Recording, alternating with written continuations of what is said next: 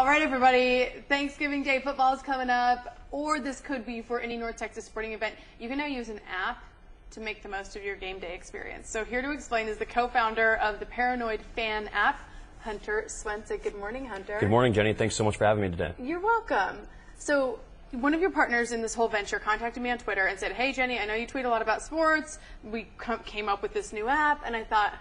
You know, is this thing for real? Because there are so many different sporting apps, but yours is unique in that it helps you out with all the different game day essentials. Kind of explain to everybody Yeah. what it does. Yeah, so Paranoid Fan is a social mapping app that allows fans to pin, share, and discover the best kept secrets on game day. So if you're looking for where to park, find tickets, food, beer, or maybe even your friend's tailgate, you can use our app to get turn by turn directions to those things. Yes, because sometimes in the parking lot, for example, someone says, uh, "I'll be at the tailgate with the Cowboys flag," and you you're like, oh, that, "That's all of them." We were out Yeah. at the Baylor Texas Tech game just a few weeks ago, and it's really incredible when you're on scene and you get to really see all the, the pain points of the fan experience. And so we'd walk around and I'd see a guy, obviously a, a college kid, he'd have his hat on backwards and he'd be yelling, Bro, I'm, I'm in lot C, the silver truck with the Texas Tech Red Raider flag. I'd look around and see 50 of those Yes, things. So exactly. what we allow is for that person who's on the phone making six of those just ludicrous phone calls to just use the app and using his contacts list, he can just pick uh, the friends he wants to invite to his tailgate, and then he gets they get turn by turn directions to his to that exact spot. So it, it's not just football; it's all sports, right? Yeah, this is uh, you could use this for cricket, uh, bowling. Uh, there's there's you know sports is, is best when it's shared with friends. And College and professional, right? especially college and professional. I, I went to Arkansas and, and we travel all the time to Florida, Alabama, and we go to the road games. And a lot of times you don't really know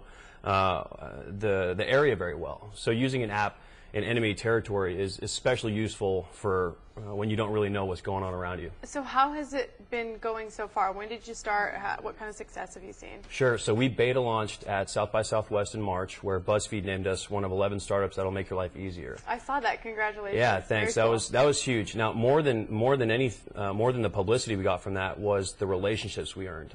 So on the final day of South by Southwest, absolutely just exhausted.